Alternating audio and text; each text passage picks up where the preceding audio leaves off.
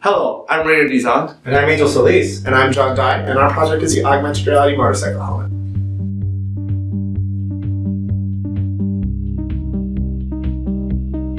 Our goal in this project was to increase motorist safety. We wanted to do this by being able to display on screen on the inside of the visor information about the vehicle, such as the current speed and the RPM. It's, this would increase safety by reducing the need to look down at the gauges, which could be a hazardous act. A similar product already exists, it's called NuViz, but it goes on the outside of the helmet and will protrude from the helmet. This can lead to problems such as drag when making sharp turns, And this clear case is the standard for our helmet. Like so. So the first component we have is a microphone, and it just captures the user's voice so that we can use that for voice recognition. The second part we have is the sound card, and it processes all the audio in and out for the BeagleBone Black.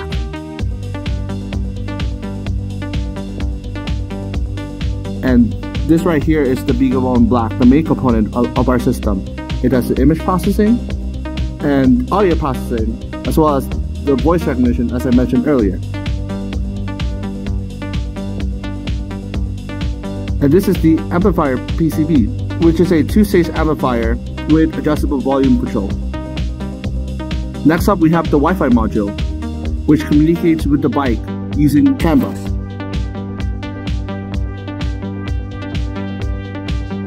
And this right here is the screen. And it displays relevant information that, that we got from the Wi-Fi module, such as speed, RPM, and time. And the cool thing about the RPM is that it turns red when the RPM value get, gets to about 6.5k.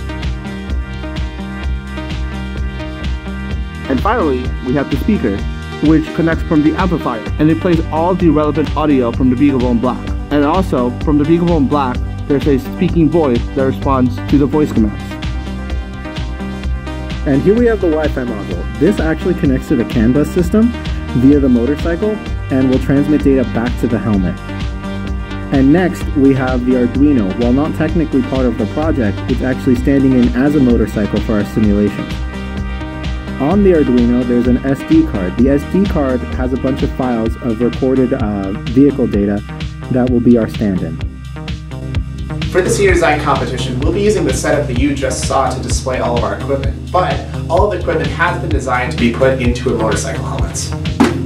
Because with the motorcycle helmet, all the padding is able to be taken out, so that all the equipment can be easily hidden within the helmet in an unobtrusive way so that the comfort of the padding will stay, but also because nothing will be drilled into the helmet or uh, affecting the outer shell at all, the uh, safety of the helmet won't be affected. In this next part, we will show you the demonstration of our entire system in the clear case. You will be able to see vehicle information shown in the screen, such as speed and RPM. In the bottom left of the screen, you will be able to see the current time. Also, we will demonstrate the music playback feature, as well as show other commands that are programmed in our system. For the voice recognition, we needed an initializing keyword so that it could start listening to further keywords. We chose bike. Our other keywords are speed to audibly play the speed, rev to say the revolutions per, per minute, time to display the time, play will start music playback, stop stops the music playback, gas shows the current fuel in the vehicle, and hello plays a greeting. bike, speed, Current speed is 85 miles per hour. bike, rev, bike, time, Time is 10:12 p.m. Bike, play. Play music.